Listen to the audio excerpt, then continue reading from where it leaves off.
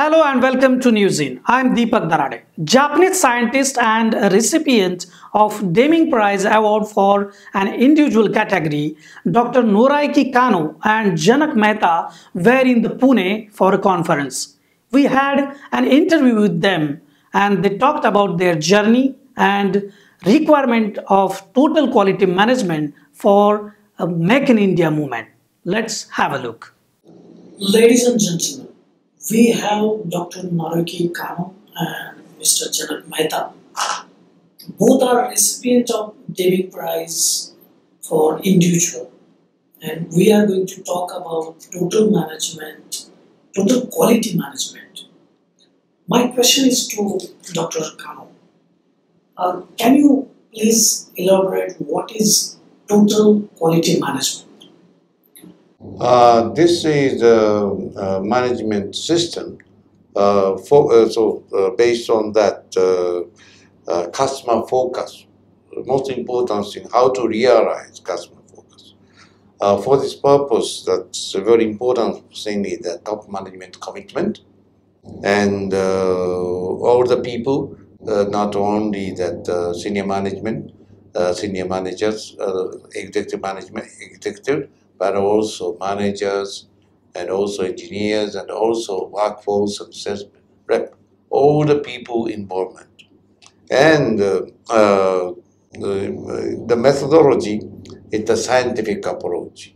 And also, I think you are familiar about the PDCA, plan to check and act. We try to implement this, all the management aspect. Maybe you may consider about that uh, process approach we intend to make a good result, but for this purpose, we focus to that uh, process. Uh, this could be called uh, the TQM. Okay. Uh, if I'm not make a mistake, uh, Deming Prize started in from 1951. Uh, yes. And from that period mm-hmm. till the moment, mm-hmm. how total quality management is working and works for mm-hmm. Japan's mm-hmm. development. Okay. At the beginning, when we started the Deming, that what we called statistical quality control. And then come to be around the middle of 1960s, we start the TQC, total quality control. And then we developed the, uh, more content. Mm-hmm. And then come to be the middle of 1990s, we change to that uh, total quality management. Mm-hmm. The substantial uh, say, uh, principle is that uh, same but uh, more we try to make enrich the methodology mm-hmm. and the concept. Like that is called today ethic. Uh, you are the recipient of Deming Prize for individual. Mm. How, how is your experience in total quality management? Yes, uh, in my case, that uh, I started I started to involve that this activity when I was uh, undergraduate student because my professor is that Professor Kaoru He was the, the pioneer in this area. Mm-hmm. So since then, that I say, uh, nearly 60 years, I have worked for this area. Mm-hmm. And then uh, I'm basically academician. Mm-hmm. But at the same time that I work a lot in that uh, industrial areas. Uh, so that, to say, for example, I was corporate auditor of Sekisui Chemical. Mm. Uh, this is the one of the big five, biggest five chemical company in Japan. The revenue is now that uh, one billion uh, dollar, uh, sorry, ten billion dollars. Mm-hmm. Uh, I worked for the uh, corporate auditor ten, six years, and also another. I was also invited to Komatsu, a construction machine company. Mm. this is I was a board member, external board members outside board members, and they're also six years. Okay. So from this, uh, say, I am not only academician, but also industrialist. And then also that uh, I have a lot of work in that uh, domestically in Japan, but I have many experience in overseas. So I have worked in that U US or Europe and uh, Asia, including India. Mm. Maybe that I have not so much done in the Africa, Africa and also Antarctic. but the other areas, all the continent, I have done that. Okay. Uh, Dr. Kano, uh, India has adopted liberalization in 1991, Mm. and now this government of India has started Make in India movement. Mhm. How do you think that total quality management Mhm. would help Mhm. to Indian industries and businesses Mhm. to develop uh, Mhm. as per your? Yeah, okay. So that uh, before going talking about that India, let me talk a little bit about that. What is the contribution of TQM in Japanese uh, industry? Okay. So we started that TQC, it's called Total Quality Control. Mhm. It's uh, that is uh, around 90 in the middle of 1960s. At that time, that say uh, exchange rate of the U.S. dollar to Japanese yen, Mhm. one dollar you bring the one dollar, uh, you can get 360 yen. But do you know that say after that 50 years passed, Mhm. but today that uh, you bring one dollar, how much you can get? Just 110 yen. So that, uh, but uh, it comes to be a little bit, uh, say, weakened. Most strength time of yen. At that time, if you bring one dollar, 80 yen, 360 to 80 yen. Uh, nowadays, that how much the one dollar is the rupee? How many? If we bring the one dollar, how much rupee we can get? How much? Rupee. Uh, I, I don't have any. No, no. Why you start? seven zero. But say, please consider about that. It come to be one quarter. It means that say one US dollar come to be say something around twenty rupees. Can you imagine about that? Mm. Okay, but it happened. Do you know the reason is that our product was very poor in quality Mhm. in that 1950 and 60, and also that our biggest problem is the food problem. Our population so big, but we don't have enough food. We must buy the food from overseas. That is that the driving force uh, for the, our industry. In this case, at that time, our Japanese yen cannot accept any country. It's the same with Indian rupee. Okay, we must get the U.S. dollar by export. In the case that we must enhance the quality. Our quality started for that, to say, export, in order to get the U.S. dollar, and then for by which we can uh, get that food. At that time, our problem is that say most of people, my generation, as I say, they they are, they don't have no problem about the weight. Today, our problem is the big weight. Like uh, we have a lot of problem about that the diabetics and so on. That come from that say. Uh, now at that time, 50 years ago, we had a very serious problem of food. Now we have uh, too much food. okay, by this means we can buy from any country like this. So in this way, Japanese prosperity come from that, say, uh, by the enhancement of the external trade. So I think you may have also similar problem. So in the case now you have to make, uh, you say your government start, uh, make India movement. That's great. So that to say, so far, you see, I know that say you, you many companies now involved about that TQM. Mhm. But so far in Japanese market, I think if we go to the department store, it's very difficult to find any product which are made in India. Maybe we can find that the tea, uh, Darjeeling tea, Mhm. and anything else. I doubt very Mm, much. That's right. But uh, say, uh, so the actual say, I think made in uh, making India movement. How we can success that say, how we can see that say, a, a product made in India, in New York or London or Tokyo or Paris like this. Right. Um, we have uh, another recipient for Deming Prize in, uh, in for individual, uh, Mr. Janak Mehta. Uh, very warm welcome to Newsend. Uh, Mr. Mehta, since how long you are connecting with this total quality management and uh, how is your experience? How you started these kind of uh, concert and workshops in India?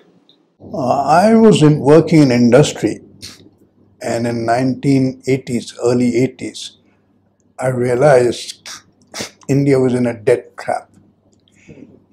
we had such high duties, import duties, couldn't export anything, cost of everything was so high. So the industry I was working for, we were not competitive. Scrap was high, we could sell what we produce. So I sensed sooner or later, Indian economy has to open. So in 1982, during my visit to Japan, business trip, I went and uh, to the office of Japanese Union of Scientists and Engineers because I had heard how Japan has transformed its, its economy through quality movement. Okay. So I picked up whatever literature was available in English, brought it to in India. I was in Nasik. So we got 11 companies involved in a cooperative movement to improve quality. Mm-hmm. These companies included Indian companies and foreign companies. Right. So we started this experiment in 1983. And since then, I have been involved in this.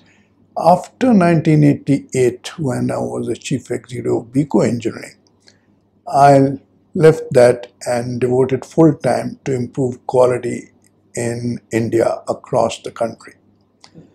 So that time we took a lot of help from JUSE.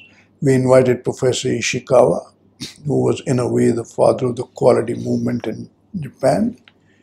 He came in 1986. I did this on behalf of uh, CII.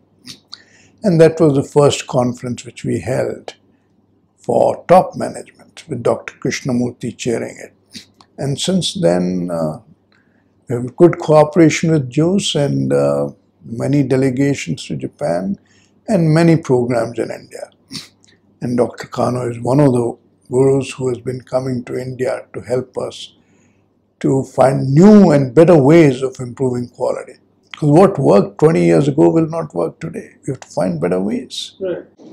Uh, what is the actual situation in India as as per as concerned quality in, in industry? What do you think?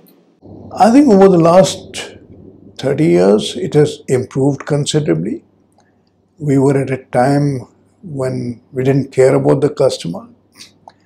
Our defect levels were in 5%, 10% level. Mm-hmm.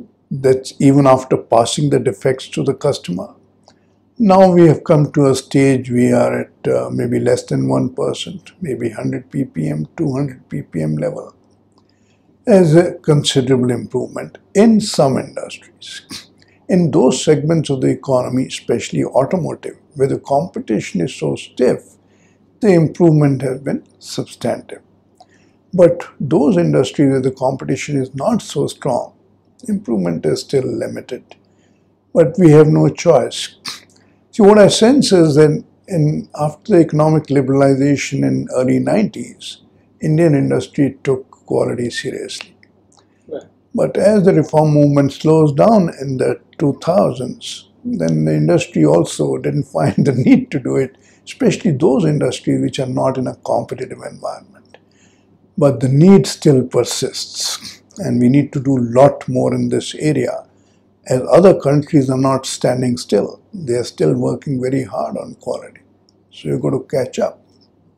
Do you think this Japanese technique, total quality management, it is uh, is it useful to Indian industry and how it will works?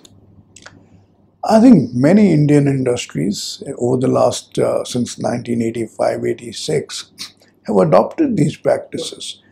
And uh, Deming Prize, which is the highest recognition for quality in the world, 39 companies from India have challenged and won Deming Prize. It shows how seriously some of the companies in India have taken it and benefited from that. This is the largest number from outside Japan. But is it enough? I doubt very much. But I think if you notice, economic prosperity of all countries, whether it's Japan, Korea, Taiwan, Singapore, South, Southeast Asia, or the Western world, the foundation is quality. And if India wants to be in the big league, we have no choice but to focus on quality and reinforce our effort to improve quality in the context of meeting customer requirements, not what quality we think as uh, quality. That's where TQM is very important, the Japanese style. because it is focused on the customer. You are working since long time in Indian, Indian business, Indian industry.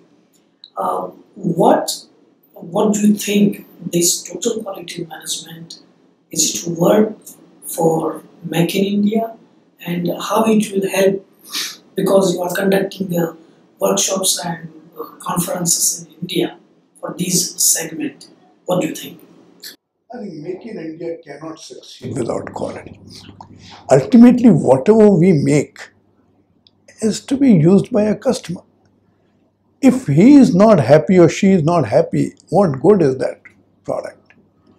So, Make in India means I should be able to make products which the customer likes and enjoys using.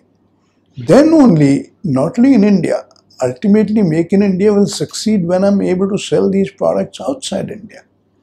So the customer is not only restricted to India. How do we export to the customers who are willing to buy in other countries and enjoy buying it at a price at which they are willing to pay for it? So without uh, TQM, Make in India How will is not the feedback for your workshops? Because you are taking these kind of workshops from last seven, six years. How is the feedback? Feedback is good, but our challenge is most of the companies who come to these seminars are large companies or medium sized companies who can afford it. We can't reach out to every company, but the backbone of a country's industry is in the medium and small enterprise, small and medium enterprise. That is the backbone. So our endeavor is that the large companies we work with, they in turn work with their suppliers and their sup- uh, third, tier three suppliers, which are in the medium and small industries, and they ultimately have to improve. Is there any plan to approach government of India for making it uh, on the large large scale? See, uh, as my personal uh, opinion, this is in a democratic society. It is not the role of the government. The role of the government is to create an environment which is conducive to competition and growth. Then it is up to the industry who have to feel the competition. So the government's role is to create competition, create an environment which encourages competition, not only from within India but from outside India. One way is we raise, raise duties, import duties, and industry can make money, like it's happened in the recent past. That's one way. Other ways, how do we become more competitive and more cost effective in the process so that we're able to sell? That is the way to uh, economic growth in the country. Make in India can't happen without this. Thank you, Dr. Kano Yes, well, with my Mr. pleasure. Janak Mehta for joining us and talking about total quality management. Thank you so much. You're welcome. Okay.